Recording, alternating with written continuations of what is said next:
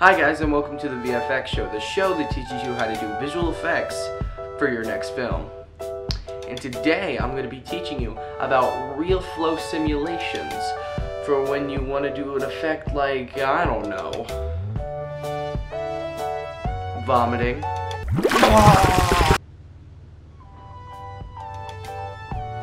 Pretty good, right?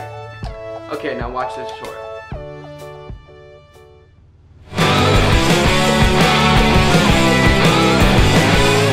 Yo! It's about that time to bring forth the rhythm and the rhyme. I got stacks, so bring yours. I want to see sweat coming out your pores. Yeah, I got French whores. Okay, um... I'm sorry. Okay, so, um...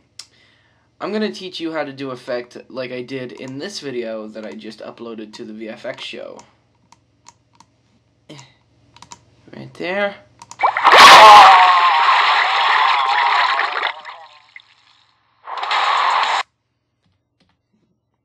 Good, ain't it?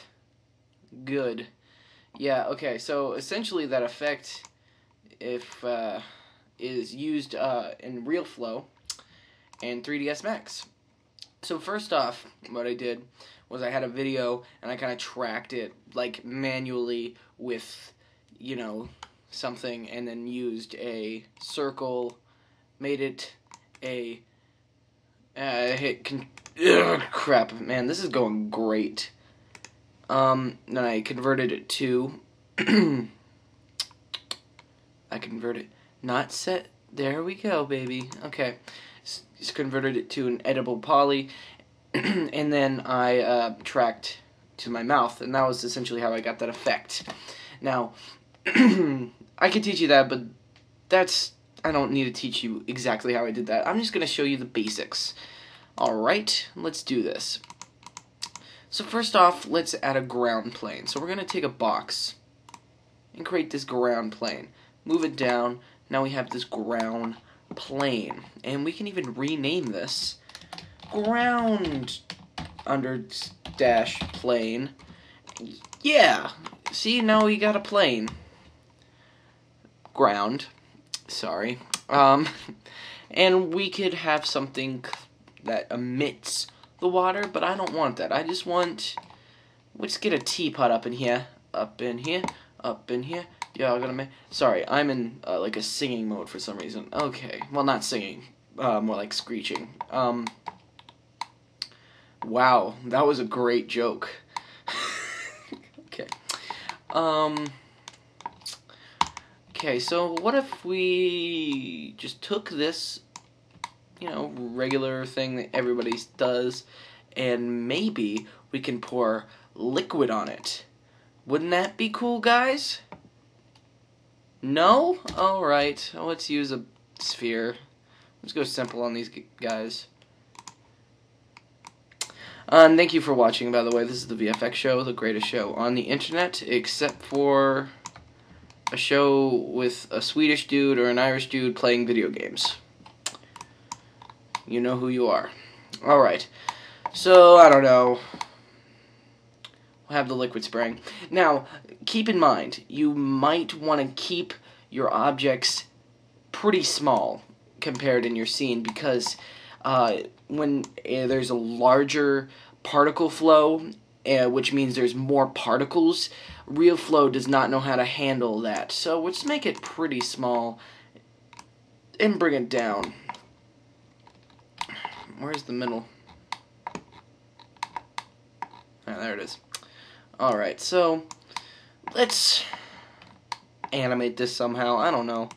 Hit auto key or hit in on the on the keyboard.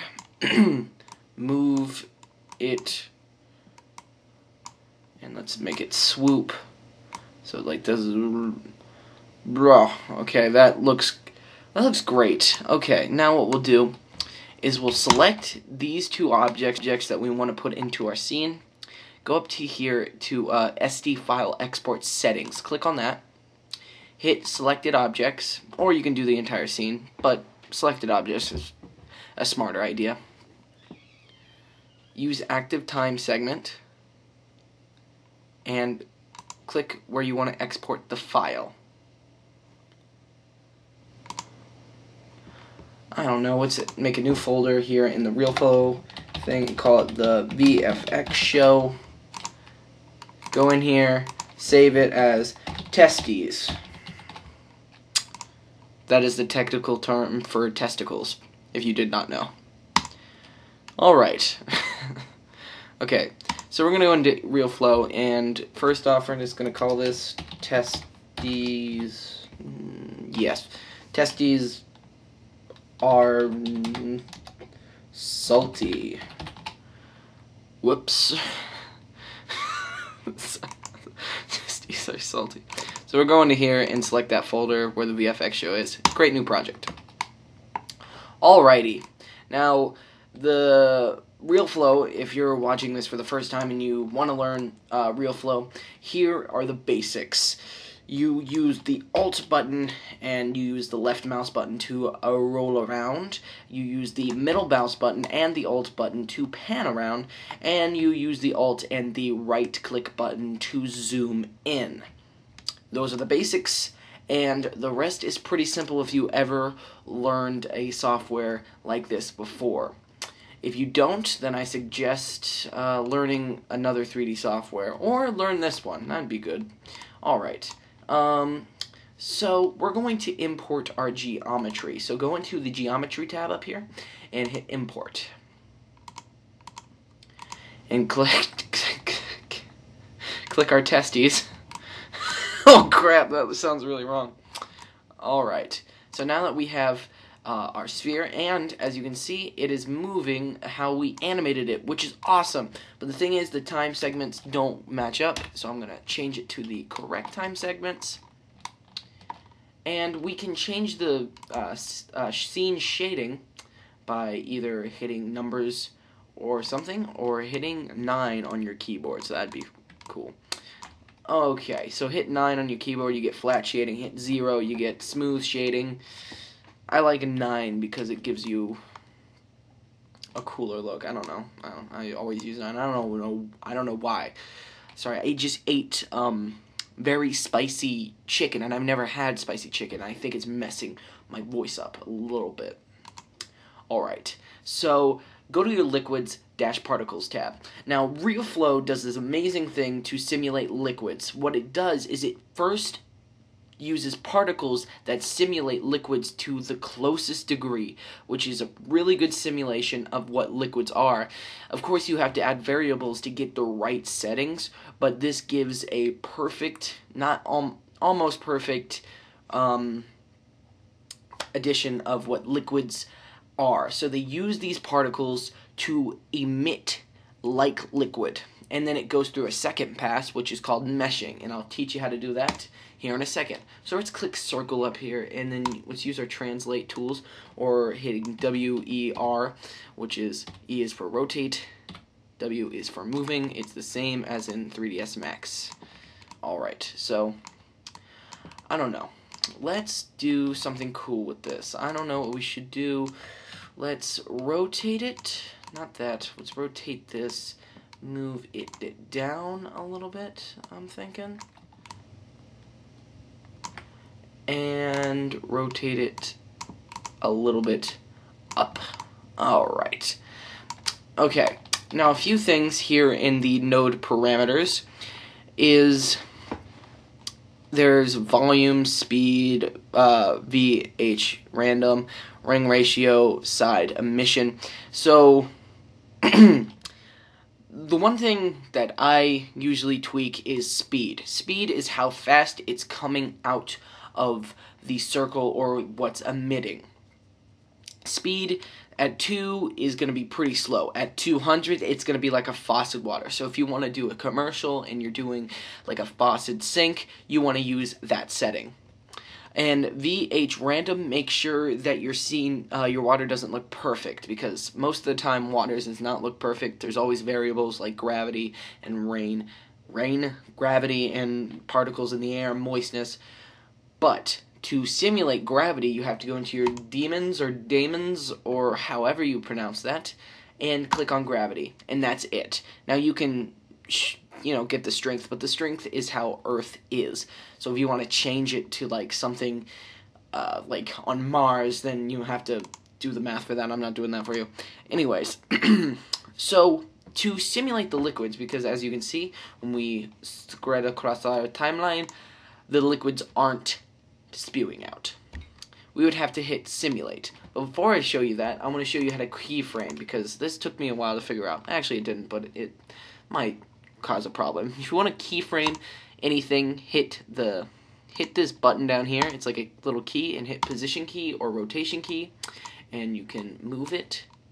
Hit position key and again, and then you have movement. And you can also go into your curves editor up here, go to view, or your, uh, where is it? The, well, there's curve, oh yeah, wait, you have to click on it and say open curves. And you can edit your curves if you know how to do that. Ow, I'm itchy. Okay. Now let's simulate it. So let's go to zero and hit simulate. As you can see, the water isn't very fast. It's, you know, it's reacting how water would in this situation. It's pretty good, but not great. So let's add some speed to this. I don't know. Let's go up to, let's go up to 15. Let's go to zero and hit simulate. Hit yes. And now the faucet, it sprays out really fast and a lot more particles are spewing out.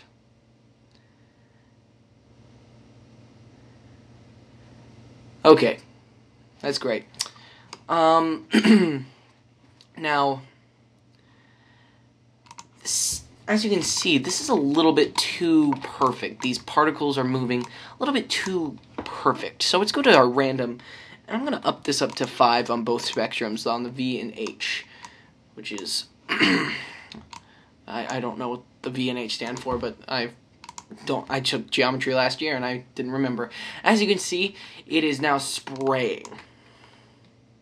Depending on how much randomness you put into it, it's going to um, change the way it looks. I use this to simulate the vomit uh, I use the randomness to simulate the vomit, because vomit doesn't look perfect, guys. Uh, I hope you know that. Vomit isn't perfect. Okay. As it's simulating, I'm going to talk about mm, breast cancer. Oh, why did I say that? Oh, I might have to redo that entire... Ooh. Wow, I'm sorry if I like offended anybody. I'm sorry. Okay, that was okay. Uh, everybody unsubscribed. I'm sorry. Bye. okay. I hope I forget about this in the morning. Um. Alrighty, it's done. Okay, now when we play it back, we can see.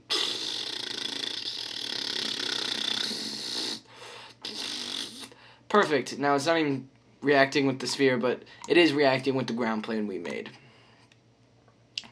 Alright. Now, we can also go up to here and up the resolution, but since this is a tutorial that doesn't want to take that time, we're not doing that. We are going to show you how to do the less resolution. Alright. So more resolution means there's more particles, which means that there's more things that the mesh can grab on. And I'm going to show you how to mesh this particle right now. So go to zero, go to mesh, and hit particle mesh. This automatically puts every particle system into a uh, group with it. You're going to click on particle mesh, and you're going to hit simulate, and hit yes.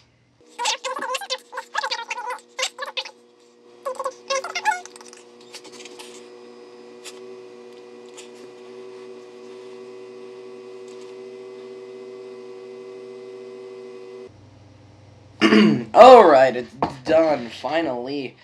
Okay. Now, if we look at this, it's meshed out and it looks great. And this was how I made Vomit. Alright. Now what we're going to do is go into 3ds Max. You don't even need anything for this. Just go to 3ds Max. You don't have to export anything. It's fine. You simulated it. You're good. So go up to Create bin Mesh Object.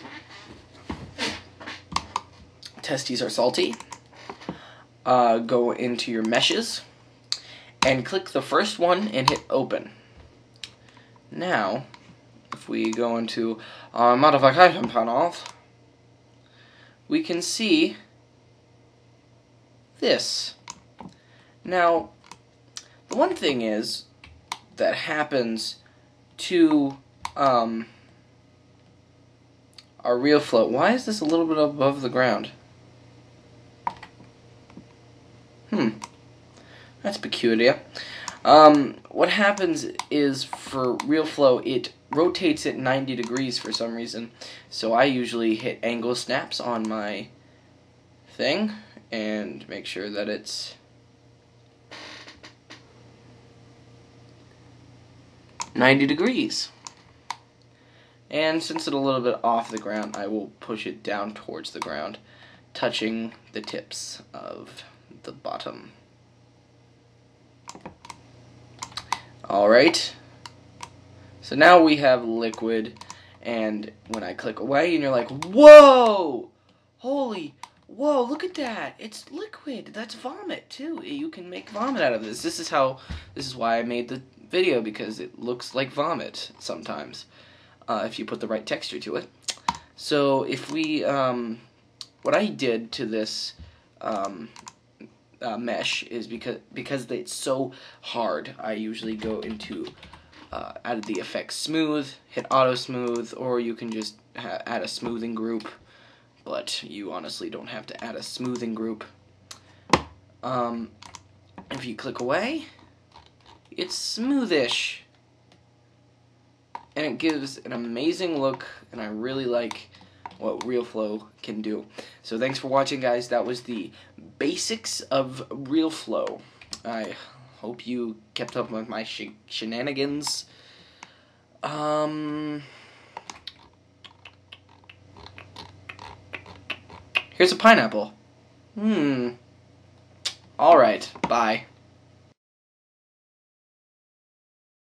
Wait! Wait a minute. Before you go, okay, I was thinking about this.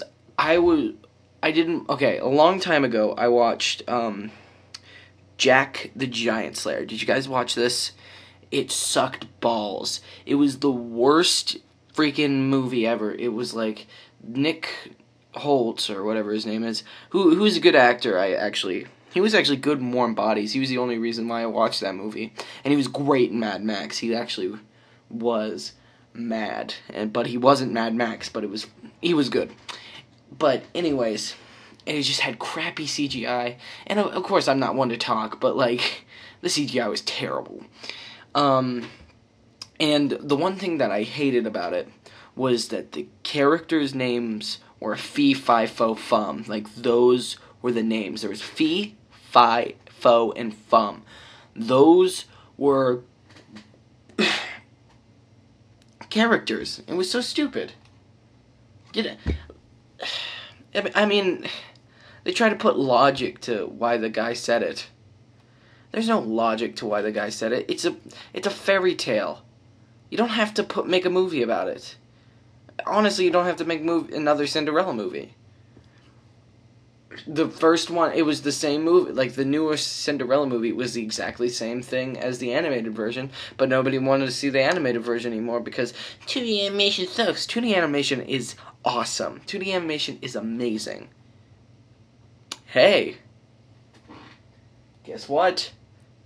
Next episode's gonna be 2d animation. Oh you heard it first. Thanks for watching. Bye